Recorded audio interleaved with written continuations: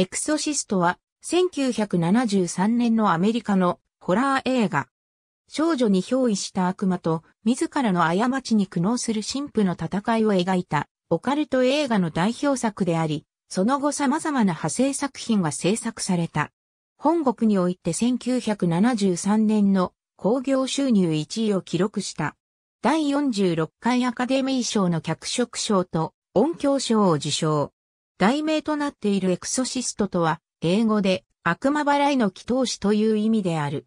イラク北部で古代遺跡の発掘調査に参加していたランカスター・メディン神父は悪霊パズズの像を発見する。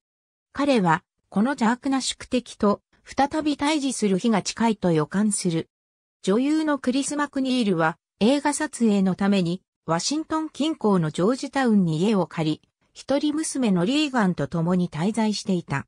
ジョージタウンに住むデミアン・カラス神父は時々、ニューヨークに住む母親を見舞いに訪ねている。母親はギリシャからの移民で、ラジオでよくギリシャの音楽を聴いている。カラス神父は、孤独を深める家族へ申し訳なさを感じている。クリスはやがて、リーガンの異変に気づく。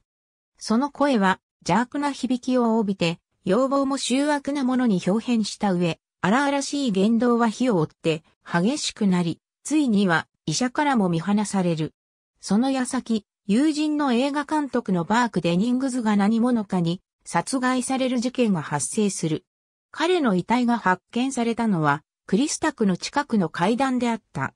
早速、キンダーマン警部補が事件の捜査に乗り出す。そして、悪魔はリーガンに十字架で G 行為をさせ、バークの声を使ってクリスを嘲笑する。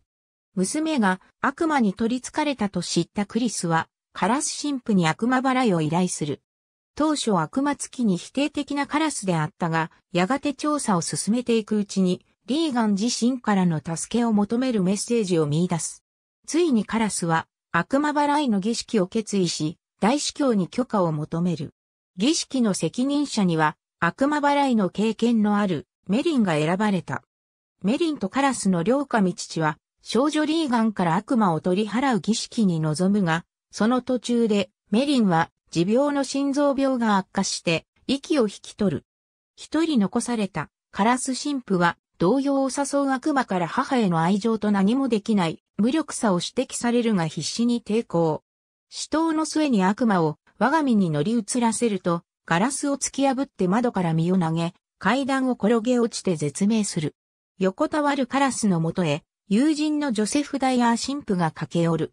日本語版ジョージタウンのエクソシストステップスエクソシスト1998年8月10日に WMJ より発売。ありがとうございます。